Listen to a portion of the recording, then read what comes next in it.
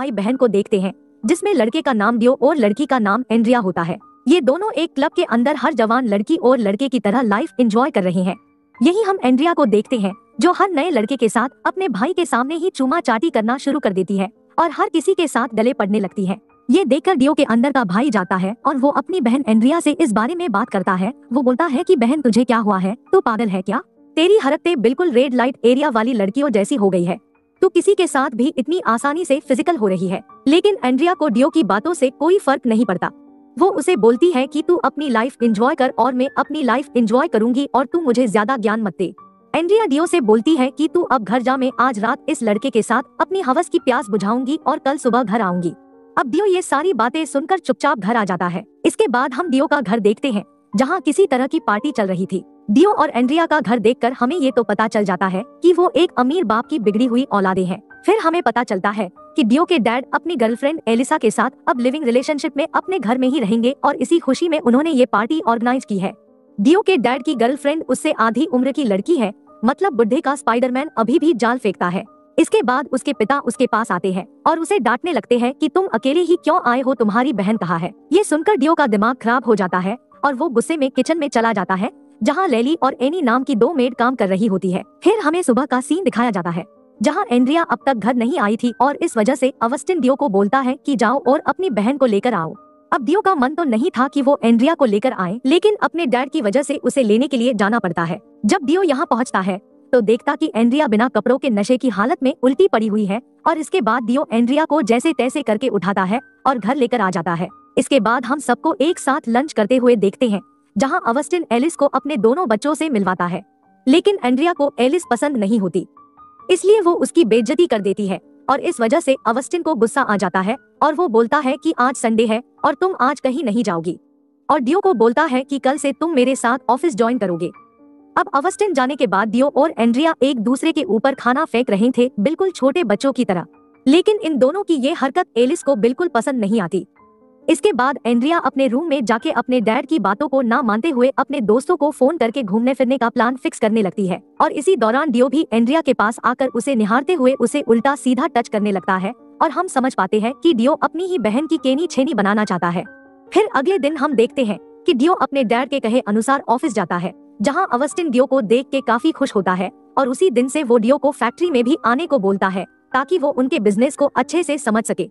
अब Austin deo का मन काम में लगवाने के लिए उसे लालच देता है और बोलते हैं कि अगर तुम मेरे साथ एक महीने अच्छे से मेरी फैक्ट्री में काम करोगे तो मैं तुम्हें एक नई गाड़ी दिलवा दूँगा और वहीं दूसरी तरफ़ हम एलिस को देखते हैं, जो इस बड़े से बंगले में अकेली रहकर बोर हो रही थी क्योंकि वो एक गरीब परिवार से थी और उसने अपनी ज़िंदगी में इतना बड़ा घर कभी नहीं देखा था।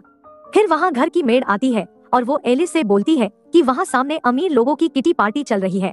तो तुम्हें भी उनके साथ उठना बैठना चाहिए ताकि तुम भी रिच लोगों की तरह दिख सको और तुम्हारा मन भी लगा रहे।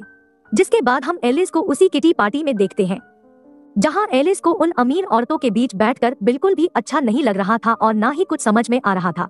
इधर दूसरी तरफ़ हम एंड्रिया को देखते हैं, जिसे डॉक्टर से चेकअप करवाने से पता चलता है कि वो प्रेग्नेंट है और उसकी प्रेगनेंसी को अब 10 सप्ताह हो चुके हैं और अब वह अबोर्शन भी नहीं करवा सकती है, क्योंकि इससे उसकी जान को भी खतरा था। अब एंड्रिया अपने दोस्तों को बुला के घर में ही पार्टी करती जहाँ वो अंदर से आइसक्रीम लाने को बोलती है। लेकिन वहाँ एंड्रिया का एक दोस्त डियो को रोक के किचन में खुद बर्फ़ लेने चला जाता है और वो लड़का यहाँ मैड के साथ ज़बरदस्ती करने की कोशिश करता है, लेकिन तभी वहाँ डियो आ जाता है, जिस वजह से उस लड़के को वापस जाना पड़ता है। हालाँकि डियो को उस चीज़ का आभास हो गया था कि वो लड़का किचन में क्या कर रहा था, इसलिए वो मैड से इस बारे में पूछता है कि तुम्हारे साथ उसने क्या किया, लेकिन मैड उसे कुछ भी बताने से मना कर देती है। और इस वजह से डियो को काफ़ी गुस्सा आता है। अब उसने डियो को इसलिए कुछ भी नहीं बताया क्योंकि अगर वो उसे कुछ भी बताती तो शायद वो अपने डैड को भी इस बारे में बता देता और उसके डैड एनिस को जॉब से निकाल देते क्योंकि वो लड़का उसके डैड के अच्छे दोस्त का लड़का था और एक मैड के चक्कर में वो अपने दोस्त के साथ अपने रिलेशन खराब नहीं करता। दारू पार्टी खत्म हो जाने के बाद जब सभी लोग उल्टे पड़े होते हैं फिर वहाँ डियो आकर अपनी बहन एंड्रिया के कपड़े उतार के उसे बिना कपड़ों के देखते हुए उसके प्राइवेट पार्ट को टच करता है और पप्पू को हिलाकर अपनी सारी गर्मी निकाल देता है। फिर बाद में उसे अपनी गलती का पछतावा भी होता है कि उसने अपनी बहन के साथ ही ऐसा करने का सोचा। इस वजह से वो रोने लगता है और उसे रोते देख लेली वहाँ पर आती है और उसे संभालते हुए बोलती कि चलो तुम मेरे साथ वॉलीबॉल खेलो और इस वजह से डियो कुछ ही देर में सब कुछ भूल जाता है। इसके बाद हम एलिस को देखते हैं, जो मिस डिडो के प्लांट एग्जीबिशन में जाती है। हालाँकि यहाँ हमें पता चलता कि एलिस को प्लांट के बारे में कुछ भी नॉलेज नहीं है। वो तो बस यहाँ औरतों के साथ घुलने मिलने आई थी और इधर दूसरी तरफ़ डियो अपने डैड के कहने पर अपनी फैक्ट्री में आता है, जहाँ अवेस्टिन डियो को पूरी फैक्ट्री दिखाने के बाद अपने साथ एक मीटिंग में ले जाता है। और यहाँ घर पे एलिस इन अमीर औरतों के बीच घुलने मिलने के लिए अकेले ही घर में कांच के सामने खड़े होकर बोलने की प्रैक्टिस करती है, ताकि वो अमीर औरतों के सामने बोल सके। इधर हम एंड्रिया को देखते हैं। जो अपने प्रेग्नेंट होने की बात अपनी दोस्त को बताती है और तब ये सभी मिलके याद करने की कोशिश करती है कि एंड्रिया कब कब कहाँ खा और किस किस के साथ टपा टप कर चुकी है। फिर जाके तब पता चलेगा कि इसके बच्चे का असली बाप कौन है। लेकिन दिमाग पर काफ़ी ज़ोर देने के बाद भी इन तीन महारानियों को कुछ भी याद नहीं आता है कि कौन सा आदमी एंड्रिया की गुल्लक भर गया।